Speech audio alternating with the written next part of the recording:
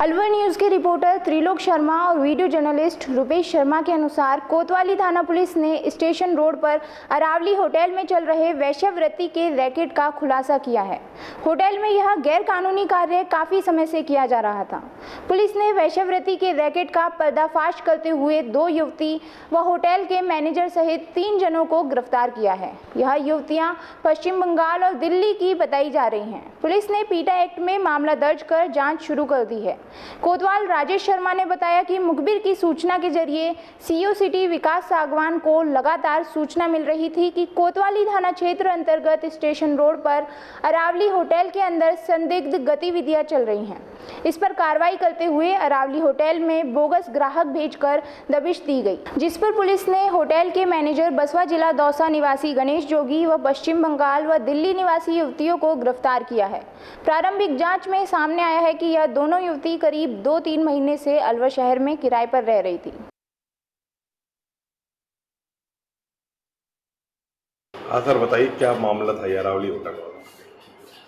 Shri Vikas Sangwan IPS साहब जो CO north लगे हुए हैं उनको मुखबिर खास के ज़रिए सूचना मिली थी कि रेलवे स्टेशन के पास में जो होटल है अरावली ईस्ट के नाम से है इसमें अनैतिक रूप से देह व्यापार का धंधा हो रहा है, जिस पर श्रीमान सीओ साहब ने थाना कोतवाली की टीम को तलब किया और महिला थाने से कुछ महिला अधिकारी और कर्मचारियों को तलब किया और इस सूचना की तस्दीक के लिए थाना कोतवाली के एक कांस्टेबल को बोगस ग्राहक बनाकर होटल में भेजा और तस्दीक करवाई।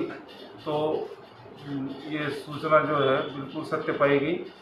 और कांस्टेबल द्वारा जो इशारा किया, उस सूचना के आधार पर इस होटल के अंदर दबिश दी गई। तो देह व्यापार में लिप्त दो महिलाएँ और एक होटल का मैनेजर जो इस देह व्यापार को चला रहा था, कमीशन के बतौर रुपये ले रहा था, इन तीन शख्सों को गिरफ़्तार किया गया है और इस पर अभियोग दर्ज करके और अनुसंधान Shri Vinod Kumar R P S C O S C S T cell द्वारा किया जा रहा है। ये महिलाएँ कहाँ की थी? कहाँ की मतलब किस बाहर से आती थी? दो महिलाएँ हैं जिनमें एक वेस्ट बंगाल की है और एक दिल्ली की है।